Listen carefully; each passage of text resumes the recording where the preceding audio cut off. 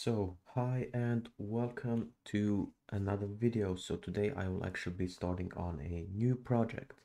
It will also be in SFML. So here you can see my Trello workspace. It was actually a pretty long time since I used Trello, but I've decided to bring it back to, you know, have everything planned before I started the actual uh, game development. I didn't do this in my last project, the Breakout arcade game, and it was it was complete chaos. I I can't even believe that I managed to complete that game. So this time I will be, you know, doing everything in Trello and it's actually a public workspace, so I will leave the link down below if you are interested to check out this workspace. But yeah, so the plan for the game is going to be very simple. It will just be a simple survival shooter. It will be a platformer as well. So you will have uh, different types of weapons and different types of enemies. And your objective is to survive for as long as you can.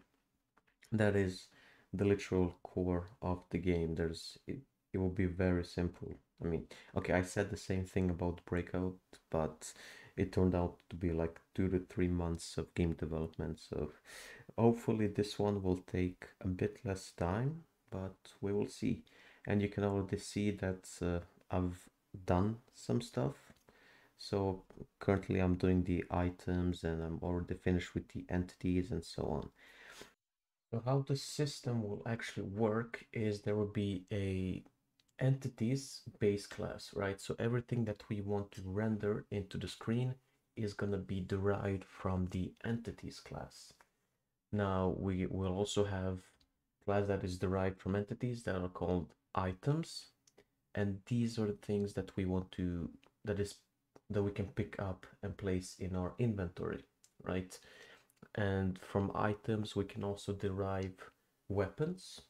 And then from weapons we can derive different types of weapons. So like i don't know a pistol shotgun and so on. And then if i want to i can also add power-ups right? As you can see i i put it in i might add but this can also be derived from items.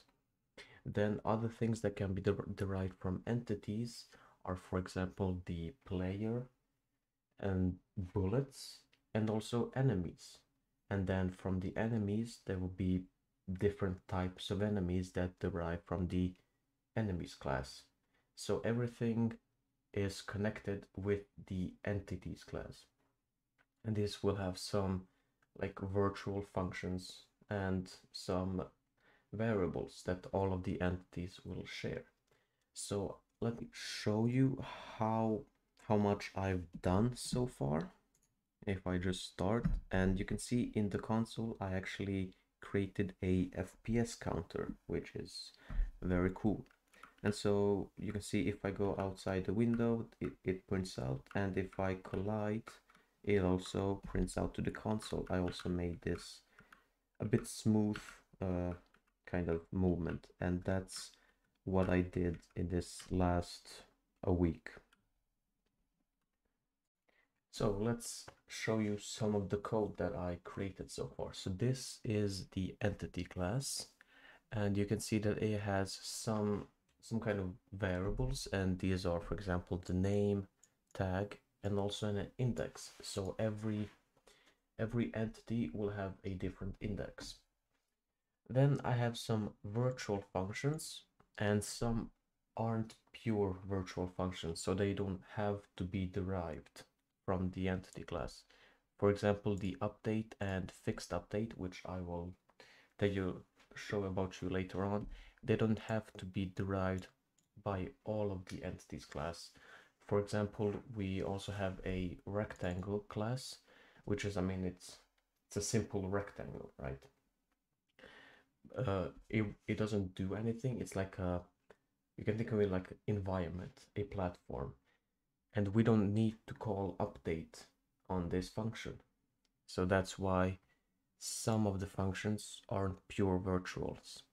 But for example, our render is because we want everything that's derived from the entity class to have its own render function that draws to the screen. And then also the get global bounds is also every everyone needs to implement this in their own class. I have also created a physics class. So this is just to keep everything, you know, clean. So it is it is a static class basically and as of right now it just has like gravity and friction which currently only the player uses but later on enemies will use this as well and then also a a is colliding function which is very simple. So all we do is we check if object 1 intersects object 2 and if it does we can just return true otherwise false. So taking a look at our main.cpp file we can see there's a, a lot of going on right? So we we are creating the window and then we're also setting the key repeat to false. So if i hold down a for example an e it doesn't just uh, return through every frame it just returns through once and that will be useful for something I will show later on. Then I create a new entity pointer, which is called player, also called yeah the player class. I will I will show you the player class a bit later, and we give it also the entity index, which is just an unsigned int. Then I also have this tracker for FPS, and it works by uh, this counter FPS that just adds the current delta. And if that counter FPS is larger than one second technically then we just print out the FPS and we reset everything and then it continues doing the same thing then we also have a update functions. And before that i'm sorry we also have the fixed update which I will show you how it one thing but one very good thing about fixed updates is that we can actually control how often per second it gets called. So right now I have the value to 0.02f which means that it will get called 50 times every second and this is good because it's consistent right? It doesn't it's not like one second is like 3500 the other second is like 4000 and this is especially good for everything physics related which again I will show you later on how it works. And then yeah if uh, we and here's the physics function. So if it does if we're colliding with this object then we can just print it out and yeah we're currently not doing anything with it but physics will come later I actually forgot to mention, but I also added an item class as well. So it also derives from the entity and it currently holds a shape. And as in our constructor, we take in a fill color, but we could take in like a texture 2D, so we can have like a texture, like an image of our weapon or something like that. And then in our main.cpp, right now, for debugging purposes, if I click the button E, I will spawn in a new item. So we first get the mouse position and then spawn the item with that mouse position. And we'll also like color red and we also increase the entity index. So if we run this and if I press E, as you can see, it spawns in a new item. Now I can do this many many times and you can see that the first item actually got an index of 3 now that is because our player and our object also has entity index and it increases so our player has the entity index 1 this object has an entity index of 2 and then the item comes in with the starting of 3 so I just wanted to mention I also added like the items as well Alright, let me talk you through our player class. So as I mentioned before, it derives from the entity class and we're gonna have quite a few variables, right?